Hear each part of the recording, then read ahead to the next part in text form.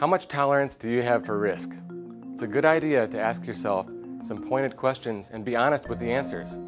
For example, what happens to my outlook if the value of my investment drops? How much could I lose and stay in the market? It's also helpful to ask yourself, how would I describe my investment knowledge? If you get most of your investment advice from television and magazines, you may want to consider getting a second opinion on your approach.